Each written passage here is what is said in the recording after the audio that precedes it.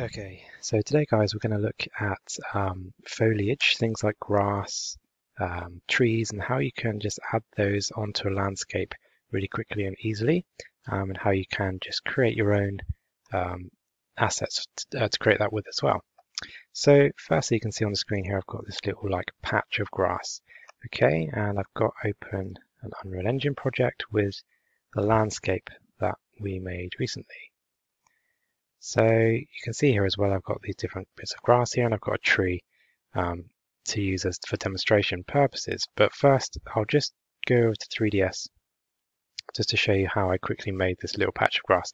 Um, and you know, you can imagine with grass, you only need a small sort of patch and that's just going to be repeated a whole bunch of times. Um, so, well, you can see it's pretty very low poly and that's the theme we're sticking with. Uh, it's just a plane um, two polygons per bit of grass basically uh, and it just made this really easily. So what I did was get a plane something like that make sure that the segments are turned right down and we actually want uh, turn the segments to two. So it's divided into four polygons. Um, and what I'm going to do is convert that to an editable poly and I'm going to grab the vertices at one end, all three of them, and I'm going to use this thing called weld over here. So if I go to the settings with weld and I turn up the threshold, eventually it will weld all of those three vertices into one. Okay, and I tick that, and then we've got our sort of flat blade of grass. And I rotate that, so it's upright. There we are. And then again, go into the vertices, um, use kind of scale. All right. And then, as you can imagine, just sort of repositioning these. However, you want your blade of grass, basically. Doesn't need to be overthought too much. Okay. Just make sure it's not too like uniform. There we go. And I made a few variations of that. You can see in mine here. Um, I've not, uh, you know, I've done this very quickly. Uh, I'm sure you can do a bit better, but um, yeah, a few variations rotated and rescaled to create this kind of patch uh, of grass here. All right, that's it really. Um, I've exported that with the normal export settings, and I've imported that into my Unreal Engine project. As you can see here, there it is. Okay, so how do I then add this to the ground? You know, I could drag in this tuft of grass like we do when we're adding in normal objects, um, but I've just got this one patch here. And I could keep re-adding this in, um, but imagine how much of a pain that would be doing the whole thing.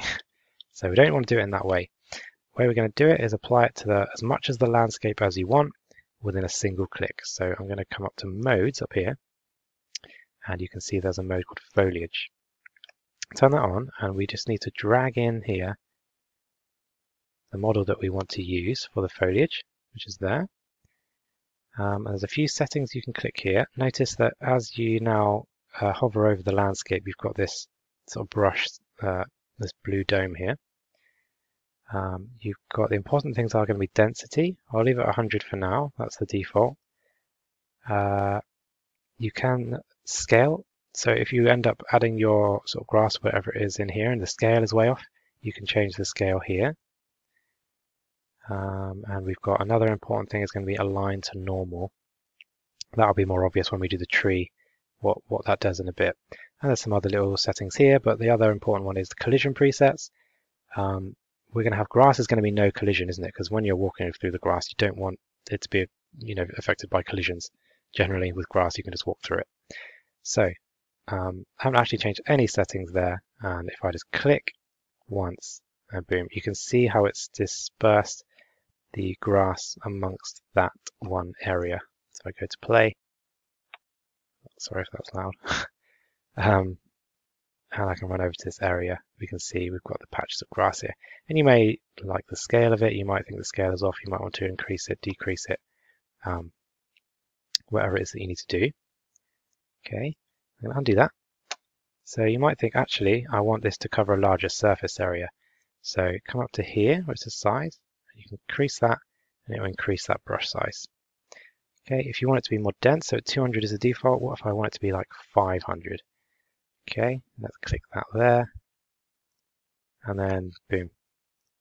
How much, uh, sorry, that's loud again, a patch of much larger, more dense patch of grass here that I can run through. Okay, so it's instantly done in a single click, really easily made, simple bit of grass. Um, but look over here where we've got this change in the landscape. The grass kind of like points off in a weird direction. Um, so I'll undo that. That is where I come down. This align to normal is. Align to normal will align any model that's used as foliage to the direction of the polygon it's being placed on. So if I turn that off, uh, zoom out a little bit and reapply that grass there. Um, I won't run around anymore. So you can see now it's not at a weird angle. It's all facing upwards no matter which direction the polygons are facing. Okay. Um, one last thing I'll just quickly show you, I suppose, the scaling. So scale X, if I didn't like the scale, I might want to turn that down, 0.5 maybe. Um, reapply that. And you can see obviously the scale of the grass there is much smaller. Okay, so it's going to be a case of playing around with these settings to whatever preference you've got.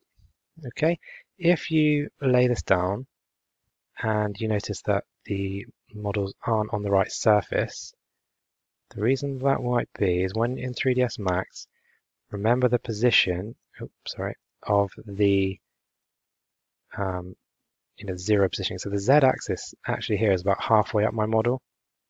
Really, the z should be on the bottom there. Uh, to change that, you can go to Affect Pivot Only, and you can move that pivot point down to zero. Okay, before you export, um, and then you, that will position itself on the surface a little bit, bit better if you get that problem. Okay, so yeah, real quick, easy grass. Very easy indeed. Okay. So what if I want trees? Well, um, I've got a tree here. It's low poly hit. I'm just going to come out of this mode to back to the select mode. It's low poly tree, which when I drag it in, I do have that problem with this tree where the the sort of center is actually in the middle of the object rather than the bottom. So I need to pull it up. So I have one a copy of a tree. But what if I want to have, you know, like a forest of trees across here? So I can go to modes, foliage, and I'm going to drag this tree in, foliage type. Here we are. Um, density is going to be much lower because I only, you know, want a, you know, not so dense with the trees. Um, and align to normal I don't want on because I don't want the trees going off at funny angles. Scale is fine how it is, but the collisions, this time I do want collisions, so I'm going to put block all. Okay, and now let's add that in. Okay, there we are.